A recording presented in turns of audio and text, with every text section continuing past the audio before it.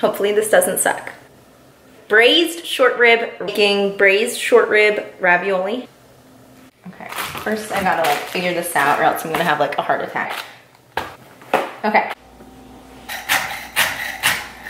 Two sticks of chopped celery. It's just a little baby.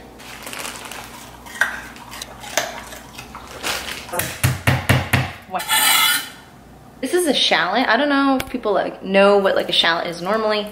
It's like a mild onion. Get my hair tie out of here. Whoop.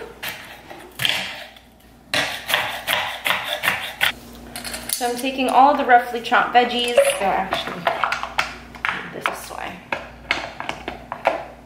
Why am I? Why is this so difficult for me? Okay, there we go. Super easy.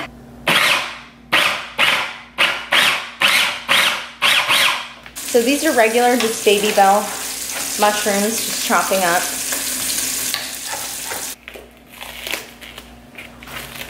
That's not ravioli. No, but I have to make the meat to go in it first. These are short ribs. I just got them in the public section. Public section. The meat section? All public? a little bit of oil into the Dutch oven so the meat doesn't stick. I dried the meat with a paper towel and now I'm just laying it fat side down. Salt and pepper. I let these cook for maybe five, no, maybe four minutes on either side before flipping. So I'm adding all of the vegetables that we chopped up.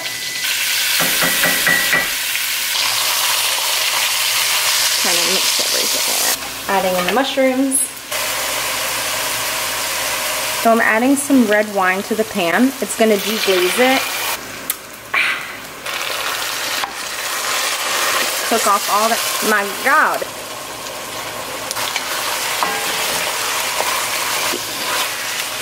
Add the beef stock. Ooh, kind of want to take a bath in it. I'm gonna put some basil in, one bay leaf. Put the lid on, let it cook for a couple hours can't make this up, folks. This is the bone that the meat was on. The bone. That's how tender this is. Holy cannoli. Oh my god, look, it's like still cooking, but that's it's like some thick ass sauce. Thick. If you don't got no sauce, then you, are lost. Mm -hmm. Six cups of flour.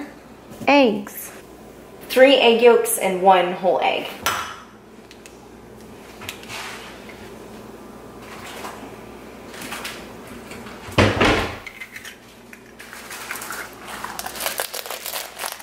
Listen to this sound. That's a good sound. oh, bye. No, please, I have a family. This lighting is literally the pits. This is all I have, so all I'm gonna put in is about one really big tablespoon. I've seen like a thousand ways to die and people would get their arms ripped off. You know what? It's better this than not have an arm.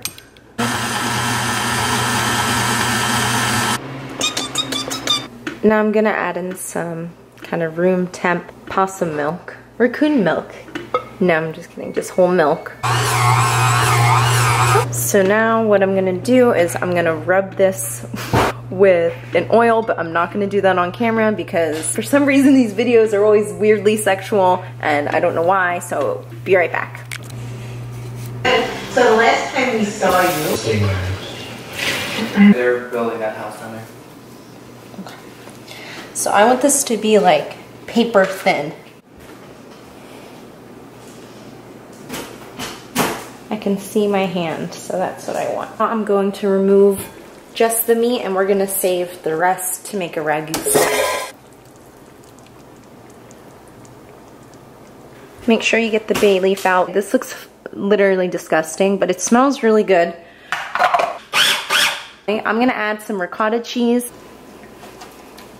adding some ricotta cheese. Okay, warning, this is actually gonna look like mush. Tristan Thompson, the one who dated Khloe Kardashian, put a little bit of the meat. This is just an egg wash. I'm gonna use it to seal the dough. It's the most powerful ability. And do this to all of them.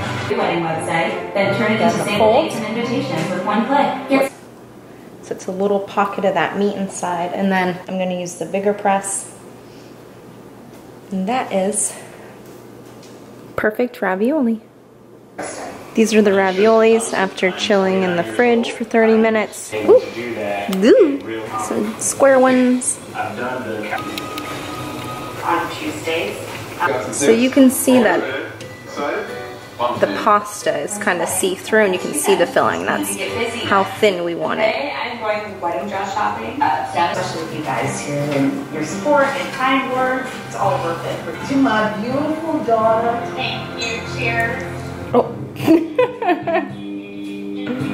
Yum. He's not there to support me, it would be disappointing. He's gonna be there for the most important day.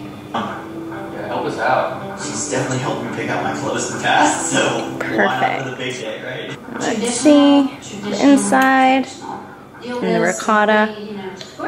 Some salt. That is so fucking good. That's it.